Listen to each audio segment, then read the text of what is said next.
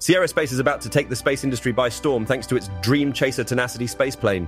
At a time when companies are focusing on perfecting reusable rockets, Sierra Space has opted for a more familiar approach to space travel by designing a spaceplane that can land on the ground. Let's talk about the Dream Chaser Tenacity and how it stands out from the competition. The CEO of Sierra Space enthusiastically stated that diving into the ocean is dreadful, while landing on a runway is incredibly pleasant. This statement rings true for many, and now it might become a reality for space travelers. Dream Chaser, Sierra Space's remarkable achievement, is on the brink of making this dream a reality after more than 10 years of development and overcoming numerous setbacks. Dream Chaser represents a groundbreaking advancement in space technology, being hailed as the world's only commercial spaceplane capable of landing on runways. It has garnered significant support from NASA, securing a substantial contract to resupply the International Space Station. After decades of meticulous planning, technical expertise, and rigorous testing, the first test article of Dream Chaser has been officially completed, as a result, Sierra Space has brought Dream Chaser one step closer to its eagerly anticipated maiden flight, scheduled for April next year. On May 31st, the company made a groundbreaking announcement. They successfully powered up the spaceplane within their assembly facility. This achievement involved supplying electrical power to the vehicle, a function that would typically be generated by its solar panels in space. The team activated flight computers and other essential components, marking a significant milestone. Tom Vice, the chief executive of Sierra Space, emphasized the importance of this achievement, referring to it as a key moment in Dream Chaser's extensive journey.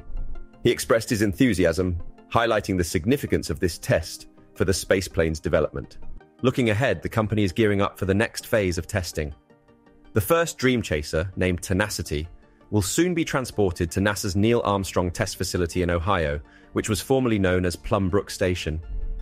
Over the next one to three months, engineers will conduct rigorous tests to evaluate the spaceplane's resilience.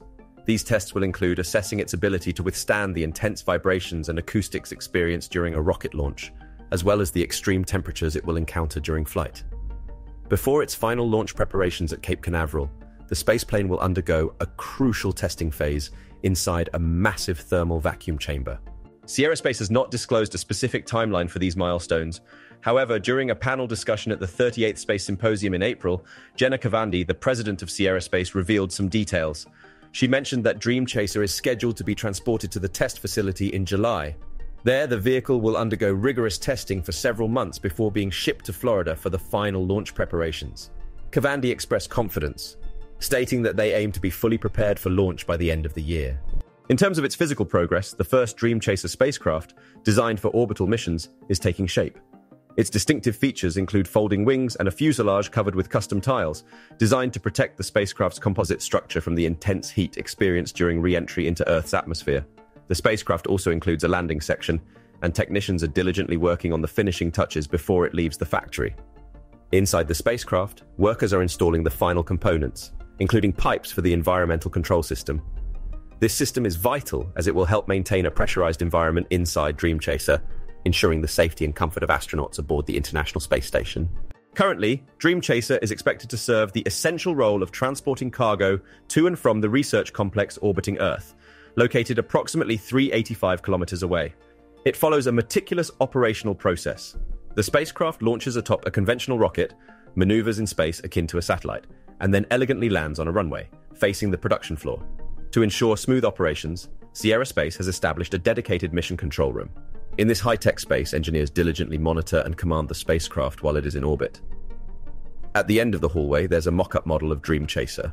This realistic representation provides astronauts with a training ground where they learn how to board the spacecraft and efficiently handle tasks like packing and unpacking cargo when it docks at the station. We're reaching the final stages of preparation, commented Angie Wise, Sierra Space's chief safety officer. We're completing the installation of close out panels, essentially getting it ready for transport. We've conducted thorough checks on the landing gear, and now we're in the process of stowing everything and moving it to the transport fixture to facilitate its departure from here. As part of the stringent safety measures in place, NASA engineers are meticulously reviewing Sierra Space's data products, while government and contractor teams are collaboratively conducting comprehensive tests to ensure that Dream Chaser can safely approach the space station, which is currently home to seven astronauts. Wise emphasized that Sierra Space has entered phase three of NASA's three part safety review process, demonstrating their unwavering commitment to safety and precision. Dream Chaser is an extraordinary spacecraft with a remarkable story. It represents a vision of the future of space travel, drawing inspiration from the early days of the space age and seamlessly combining elements of both rockets and airplanes. Consequently, Dream Chaser Tenacity boasts distinctive features that set it apart from traditional spacecraft. Dream Chaser Tenacity stands out for its compact size, measuring 30 feet, 9 meters in length. This compact design reflects a dedication to efficiency without compromising functionality. One of its notable features is the incorporation of folding wings, enhancing its adaptability. These wings allow Dream Chasers to be stowed inside a 5 meter payload fairing during launch, reducing ascent loads and providing protection against debris. This innovation significantly enhances the spaceplane's flexibility and versatility. The spaceplane boasts a lifting body design, which was successfully demonstrated during a test flight over the California desert. This design enables autonomous deployment of landing gear and precise touchdowns on runways, showcasing Dream Chaser's adaptability. Adding to its capabilities is the introduction of the Shooting Star cargo module, underscoring Sierra Space's commitment to efficient cargo transport.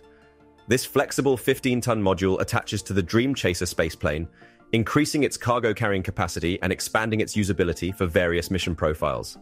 With the help of Shooting Star, Dream Chaser can deliver up to 12,000 pounds of pressurized and unpressurized cargo to lower orbits, highlighting its versatility and contribution to future space logistics. Furthermore, Dream Chaser Tenacity features a state-of-the-art heat shield, representing a significant leap forward from the Space Shuttle program.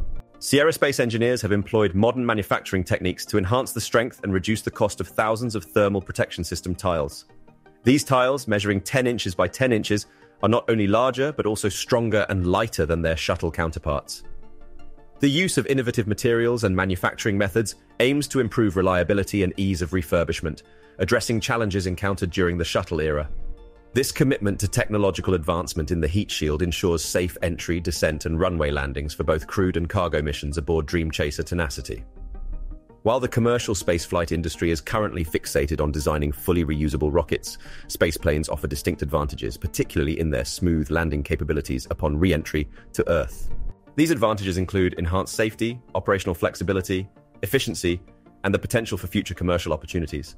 For its debut flight, Dream Chaser Tenacity is set to launch atop ULA's Vulcan Centaur rocket, marking a significant milestone. However, the launch schedule depends on the success of Vulcan's first test flight, currently slated for December. The Dream Chaser team closely monitors these developments, aiming for an April launch if all goes well. Sierra Space also envisions crewed Dream Chaser missions to its space station potentially transforming the landscape of space transportation. If Dream Chaser succeeds, it could usher in a new era of spaceplane missions, a concept not seen since the retirement of the Space Shuttle in 2011. Beyond its direct impact, Dream Chaser's success may stimulate collaboration and partnerships within the industry. As Sierra Space demonstrates the viability of its spacecraft, other entities might adopt similar technologies, fostering innovation and healthy competition. This collaborative spirit could lead to a more dynamic and robust space industry ecosystem, driving advancements in space exploration and transportation. What do you think? Is the Dream Chaser the next big thing in space transportation, or are conventional methods such as rockets still better? Please let us know in the comments below.